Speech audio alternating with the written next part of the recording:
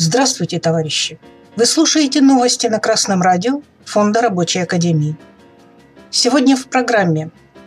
В Бурятии объявили голодовку энергетики.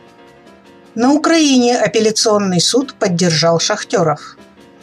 Информационная служба накануне.ру сообщает, что 15 сентября в Бурятии, в Улан-Удэ, работники компании «Территориальная генерирующая компания 14» объявили голодовку на рабочих местах.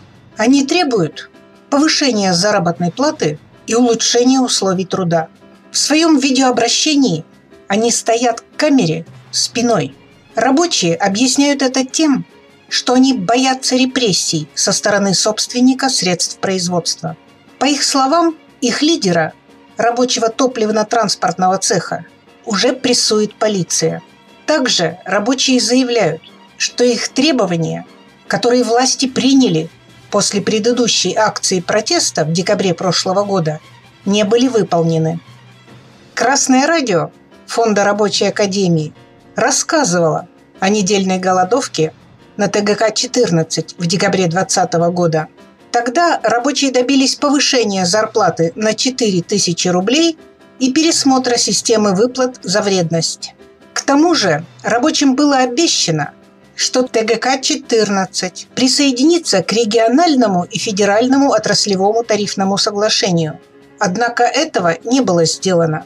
Рабочие заявляют, что ТГК-14 с 2018 года уменьшила либо просто отменила дополнительные выплаты за вредные или опасные условия труда, сократила дополнительные дни к отпуску и отказывается выплачивать сотрудникам 50% льготу за электрическую и тепловую энергию за 2020 год. Советские люди в 30-е годы построили Улан-Удэнскую ТЭЦ-1 и Читинскую ТЭЦ-2 для всего народа. А теперь их преемники на рабочих местах вынуждены каждый год устраивать голодовки. Должны прятать свои лица в своей собственной стране, опасаясь преследований со стороны своего государства – все это потому, что общественная собственность перешла в частные руки, и новые собственники выбивают прибыль из рабочих любыми способами. Красное радио ФРА желает удачи энергетикам в их борьбе и напоминает, что на жизненно важных производствах, где невозможна забастовка, можно применять работу по правилам.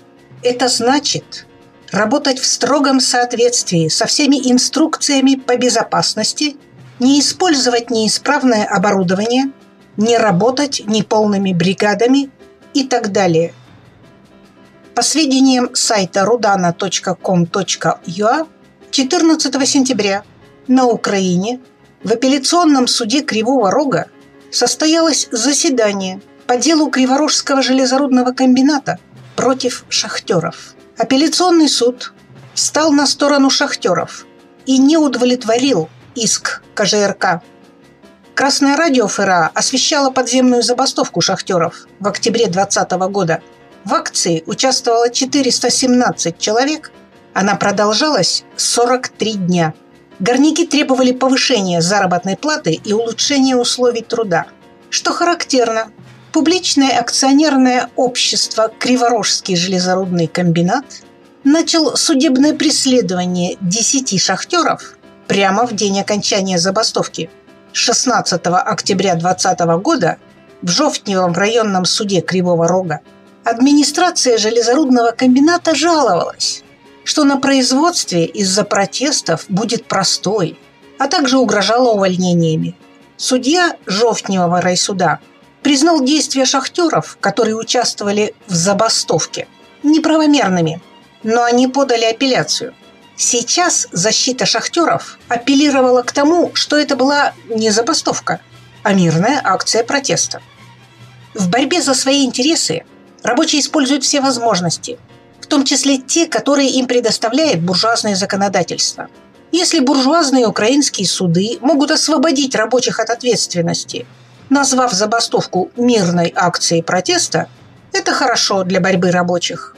Главное не в названии. Главное в том, что можно продолжать борьбу за свои интересы. Надо бороться за повышение зарплаты до стоимости рабочей силы, за улучшение условий труда, за уменьшение продолжительности рабочего дня.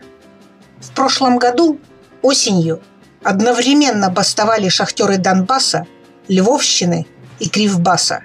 Рабочему классу не будет преград, когда он осознает свое единство и организуется на совместную борьбу. С вами была Светлана Чурякова с коммунистическим приветом из Печоры.